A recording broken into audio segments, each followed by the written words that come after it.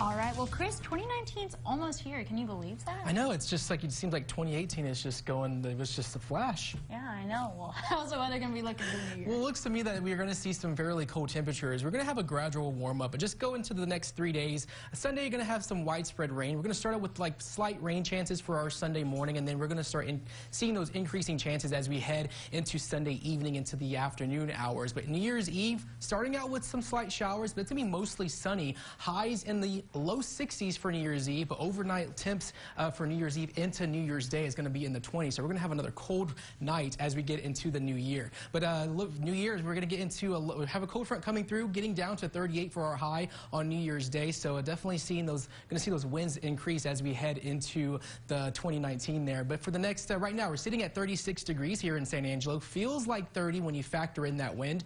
Humidity's at 70% and the pressure is at 30.25 and steady. But for our temperatures for the past 24 hours is that we actually got down to below freezing last night here in San Angelo. Got down to about 34, 32 degrees, and then we just didn't really warm up too much. Got up to 39. I thought we were going to make it to 40, but we ended up just uh, staying right there at 39 degrees for us here in San Angelo. But uh, current clouds and radar for the past 12 hours here is that we did see some specks of some winter precipitation up to the northeast of us, and I know they were dealing with some freezing fog and freezing drizzle in Midland and Odessa, so which is called was going to cause some travel concerns for them earlier today. But looks to me us here in the Concho Valley not dealing with too much. Here's the current look of the live radar network. Nothing showing up on radar, just those that cloud cover that's just remaining above uh, the Concho Valley. But current temperatures across the area, 35 in Wasp, 34 in Sterling City, sitting below freezing, 33 degrees in Eldorado and 34 in Barnhart. So we're going to start seeing those temperatures dip down just a little bit as we progress throughout the night into tomorrow morning. But our future cast is showing that cloud cover lasting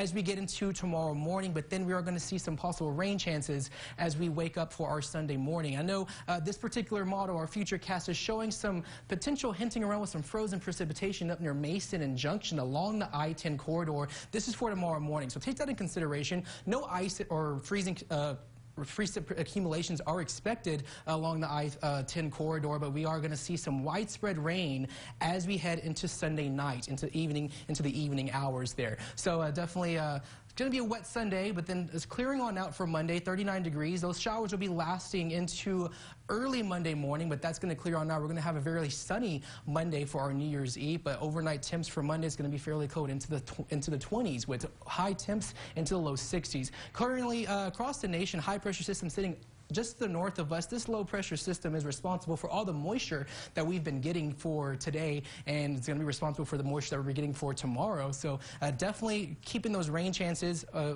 possible, but tomorrow we're going to have an upper low pressure system. That's the same one that we saw just now. That's going to be lasting in northern Mexico, and that's going to be increasing our moisture for tomorrow. But tonight, getting down into about 31 degrees, cloudy and cold winds out of the northeast at 5 to 10 miles an hour. And for tomorrow, for our Sunday, getting up to 42 degrees degrees. Going to start off the day with mostly a slight chance of showers, but then they'll start increasing as we head throughout the day with the possible freezing precipitation just to the south of us along Junction, Mason. So just definitely keep an eye on it if you plan to travel in that general area. But for the next seven days that we are going to uh, anticipate uh, some rain for the next couple of days as we get into our New Year's. Or actually, we're going to go into our Sunday planner. Uh, mostly uh, cold, uh, 34 degrees, chance of showers, 40% chance of moderate rain. And then for the next seven days, like I mentioned, is that we are going to see our rain potential for Sunday and Monday. Cold front coming through between Monday and Tuesday, getting up to 38 for New Year's Day. Overnight Monday into New Year's day is going to be tw low of 28 degrees and for the next seven days there is that we're going to start seeing our uh, cloud cover clear on now, and then we're going to have this gradual warming as we head into the end of the week with overnight temps into the low 20s as we head into 2019. Wow.